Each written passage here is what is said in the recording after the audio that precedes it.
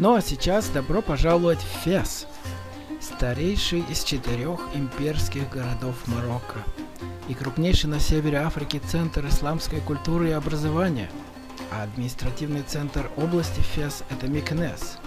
Население Феса – миллион сто тысяч человек. И это второй по величине город Марокко после Касабланки. Основан был в 789 году Идрисом Первым – он сделал Фес столицей государства Идрисидов, государства Фес. В Фесе имеется интересная мечеть. Она называется Аль-Карауин. Мы ее позднее увидим. Книга рекордов Гиннесса признает ее старейшим в мире постоянно действующим высшим учебным заведением. Она основана в 859 году и вмещает 20 тысяч верующих. В ней находится гробница основателя Феса Идриса II. Вот здесь мы видим Королевский дворец. Вот эти зеленые крыши – это Королевский дворец. Мы позднее подойдем поближе, посмотрим на этот дворец. Там красивые ворота, площадь перед ним. Мы сейчас находимся в так называемой Южной крепости – холма смотрим вниз, Фес сверху. И перед нами открыта так называемая Медина, старый центр города. Старая Медина называется Фес Эль-Бали. Она окружена средневековой стеной. И это одна из крупнейших пешеходных зон в мире – числится она среди памятников всемирного наследия ЮНЕСКО с, с 1981 года. Есть еще Фест Джидид, вторая Медина, основанная в 13 веке маринидами. Этот квартал изобилует памятниками эпохи маринидов, включая Дворец Эмира и облицованный полихромной плиткой минарет. В этом же районе расположена древняя фесская гетто – большая часть жителей которого в последние десятилетия выехала в Израиль. И есть еще новый Фес, который был заложен в 1916 году маршалом Леотеем в соответствии с принципами европейского градостроительства. После подписания в 1912 году Фесского договора Марокко на полвека стало французским протекторатом. А сейчас мы находимся у крепости, которая основана в 16 веке. Это называется Южная крепость. Там напротив Северная крепость.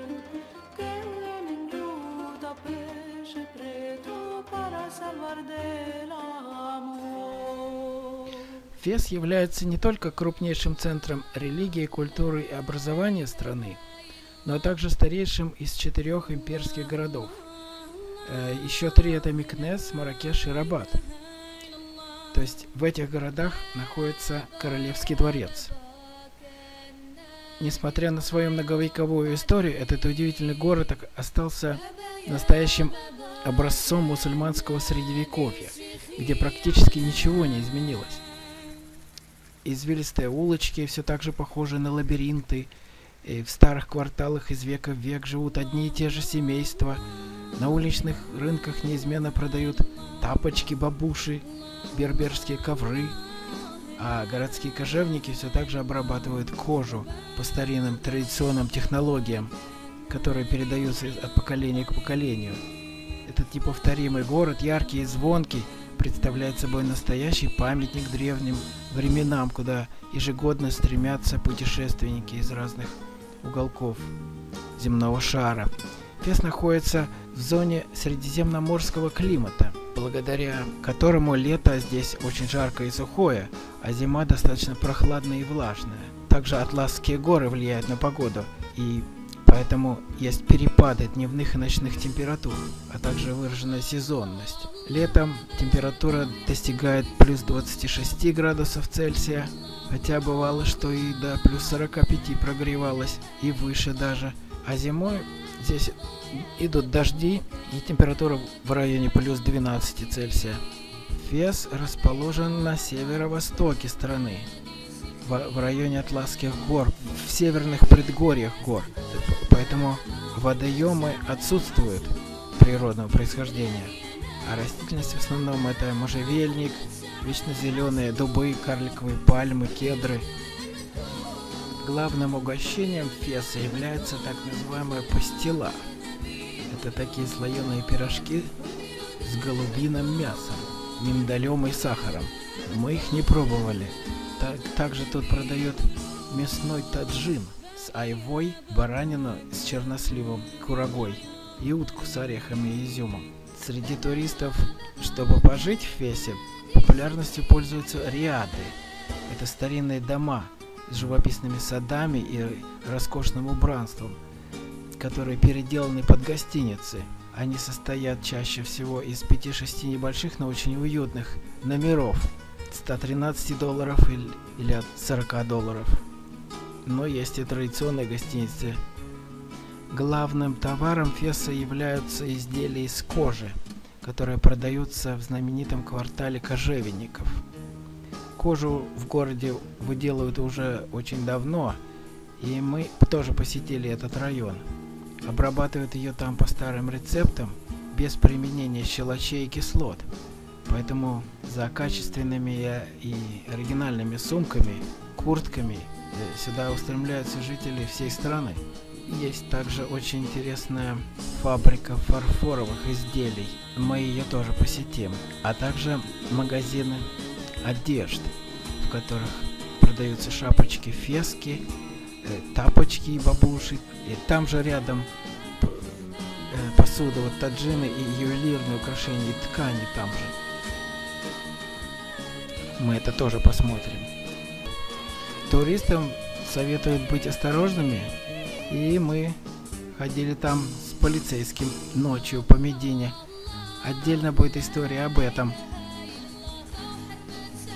Стоимость небольшого дома без ремонта здесь составляет примерно 40 тысяч долларов. А за дом с тремя спальнями в отличном состоянии попросят около 100 тысяч. Более крупная недвижимость стоит не менее 200 тысяч. Ну, в общем, интерес появляется у иностранных инвесторов. Традиционные районы, но вот такие цены доступны. Есть также в Фесе международный фестиваль сакральной музыки, который проходит в начале июня. В это время это масштабное мероприятие, город наполняется музыкантами, представляющими религиозные общины из Ближнего Востока, Запада и Азии. И в течение всей этой фестивальной недели тут проходят многочисленные концерты и представления, во время которых можно послушать вводящую в транс музыку берберов, сакральную музыку кельтов, арабо-андалузскую музыку и священные гимны Индустана, а также увидеть танцы суфийских дервишей из Турции.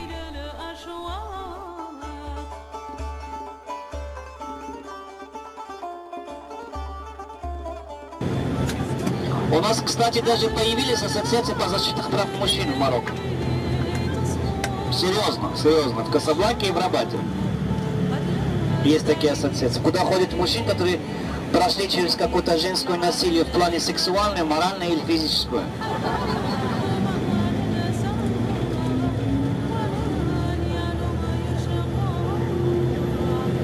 Это не шутка. Такие есть. Да.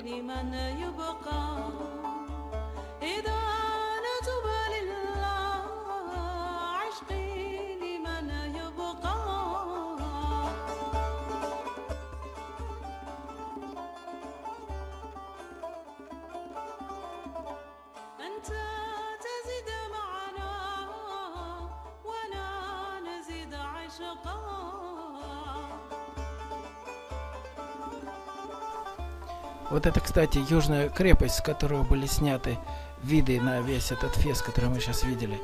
Не, ничего такого исторического особого нет, там военный гарнизон расположен просто. Современный сейчас, для охраны этого города, вот сверху будут пушками палить.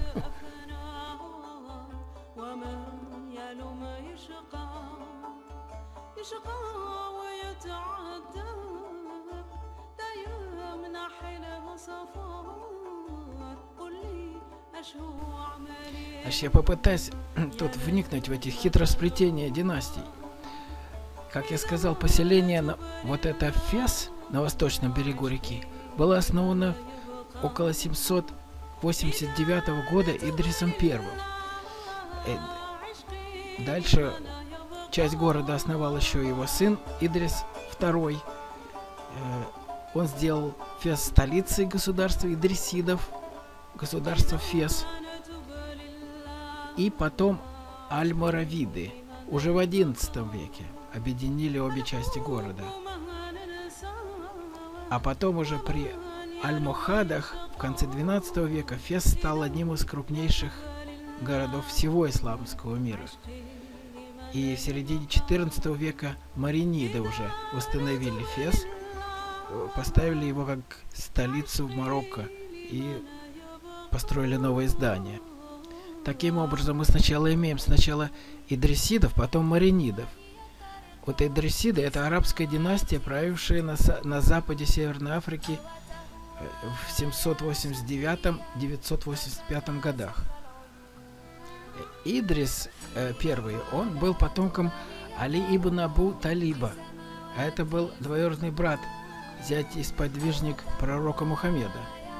Это был четвертый праведный халиф в 650 году, э, первый из 12 почитаемых шиитами имамов. Единственный человек, родившийся в Каабе, первый ребенок э, среди лиц мужского пола, принявший ислам. Так вот, его потомком был Идрис. И он в 784 году от преследований аббасидов бежал на, на запад Северной Африки. И там он был признан имамом и основал Фес. А аббасиды, которые его преследовали, это была династия арабских халифов, э, происходившая от Аббаса, дяди пророка Мухаммеда. Эти аббасиды, они свергли амиядов на всем халифате.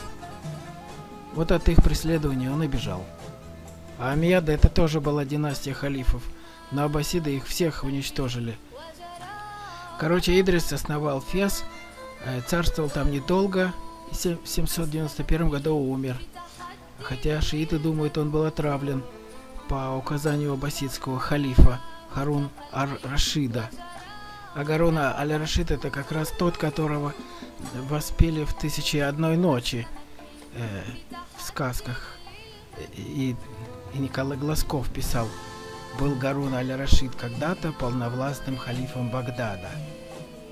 Короче, этот Гарун аль-Рашид отра- отравил этого Идриса. Но у Идриса был сын, он родился после смерти отца, Идрис II, и он перенес столицу государства в Фес. В современном Марокко Идрис I считается основоположником национальной государственности. То значит Идрис I Ибн Абдуллах. А Мариниды это берберская династия в Марокко. Она пришла в 12 веке. Их там было почти 30 разных царей, и они правили до 1465 года. Султаны там были. Такой султан Абу Саид э, построил в Фесе много медресе. Там были среди них распри. э, Абу Хасан такой был там. Он предпринял попытку объединения Магриба. А в Фесе они осуществляли вот градостроительную деятельность и пытались централизировать управление. Тут надо понимать вот эти центры арабской учености, когда-то все эти медресе, вот был же расцвет арабской культуры когда-то. Аристотеля, между прочим, изучали. Вот и арабская письменность, цифры арабские, они в то время здесь как раз в Фесе и были изобретены. И, и они были основаны на том, сколько в них углов. В одном один угол, цифра 1, в нем один угол. Цифра 2, в нем два угла. Цифра 3, в ней три угла. Вот это обозначали первые арабские цифры как раз. А 4, в ней 4 угла. Она пишется 4 вот так, пишется арабская, углами, а не как иногда по-русски пишет 4. Хотя по-русски тоже пишет 4 уголочком иногда, но на монетках на арабских 4 пишется угловато так. То есть со стрием наверху, а не как буква Ч. لقد كنت قبل اليوم أنكر صاحبي إذا لم يكن ديني إلى دينه داني وقد صار قلبي قابلا كل صورة لقد صار قلبي قابلا كل صورة Пройдя через узкие коридоры старого города, мы пришли в хамам. Хамам – это спа. Не, с- не совсем баня, но массажные и спа, которых много в Фесе. И чтобы получить опыт, там в хамаме есть свой ритуал. Там есть теплая комната, где привыкаешь к теплу, э, потом э, горячая комната выводит всю грязь, которая скрыта в порах, э, всякие чудеса на кожу делает. Есть теплая комната, там намыливают тебя, предлагают помыть спину, э, смывают. И холодная есть комната, после ванны туда выходишь, и еще натирают агаровым маслом, массаж делают. Специальный персонаж для этого обученный. Вот такая узкая лесенка, украшенная мозаикой, ведет в таинственную комнату в полумраке, где нас угостили марокканским чаем с мятой и сладостями. Вот эта девушка сделала мне массаж. Очень сладкая была. Вот. Но не только одна. Там еще двое мужиков тоже. В общем, там несколько комнат. В разных комнатах переходить из одной в другую, и там тебе делают массаж, и пар и резиновой мочалкой тебя полируют. А это при выходе из, из спа, из хамама. Был такой рынок. Ну, конечно, experience в этом спа был своеобразный. Незабываемый. Это наш отель. Очень красивый.